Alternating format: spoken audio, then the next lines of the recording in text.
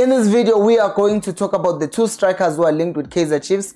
We're also going to talk about the potential move of Samkelo Zwane away from Kaizer Chiefs. We're also going to talk about the saddening stat about Kaizer Chiefs that you cannot believe. We're also going to finally reflect on the season because the nightmare is over. We hope we wake up from this nightmare next season.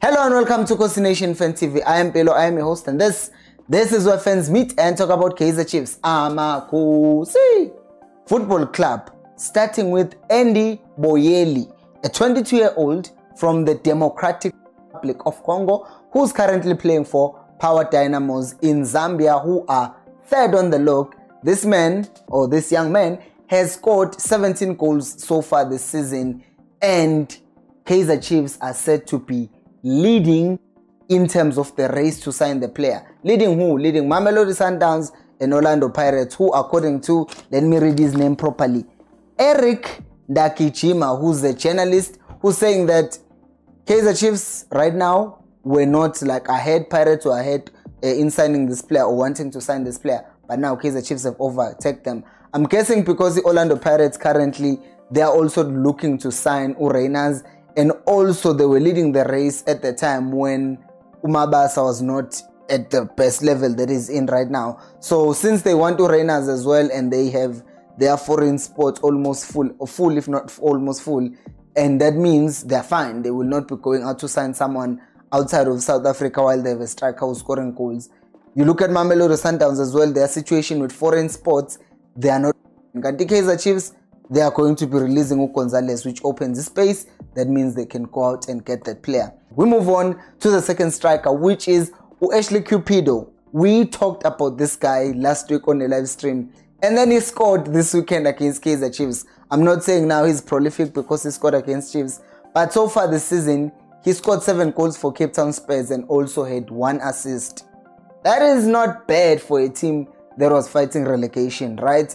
And what makes this even more interesting is that he himself has said that he does want to play for the Big Three. But on top of that, he has requested to be sold by the club. And now there are talks that he's worth somewhere around Boma 10 million. Now the question is, would Kaizer Chiefs pay that much money for a player who's only had one season in the DSTV Premiership?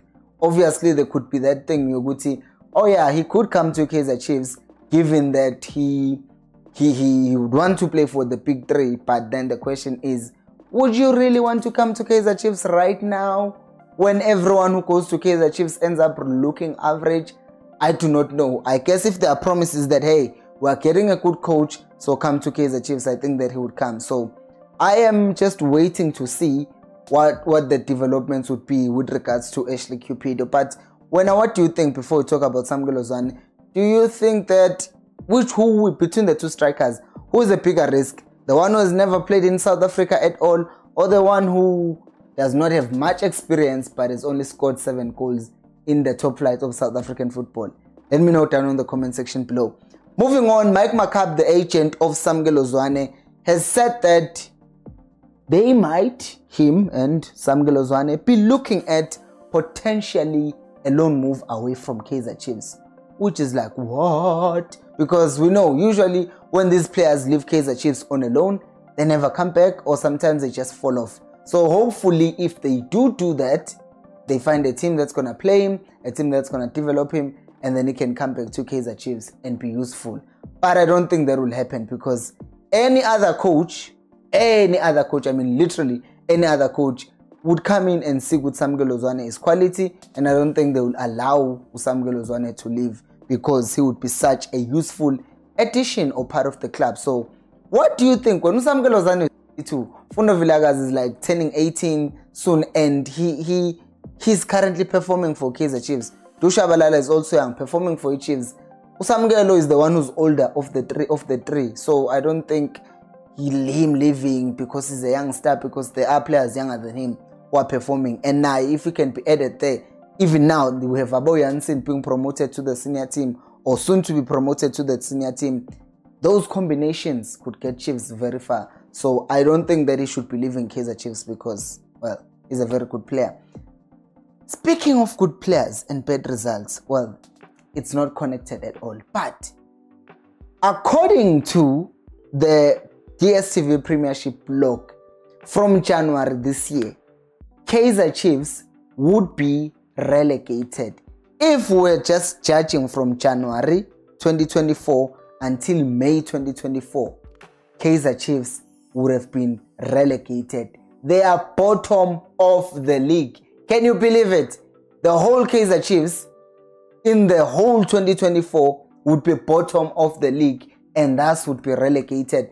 Which basically means if Cavin Johnson came in beginning of the season to coach Kaizer Chiefs, we would have been relegated. And I, I, I believe that because you look at how Chiefs were playing and you're like, yeah, this is bad. This is horrible. We were the worst team in the DSTV Premiership. The worst.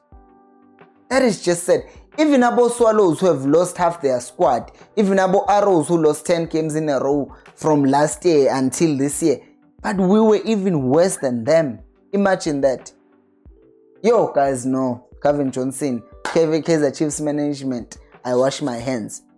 Because I didn't even make the match reaction on Sunday because I traveled and then on sun on Saturday, I mean, and then on Sunday, of course, I I, I decide good now I don't make videos on Sundays.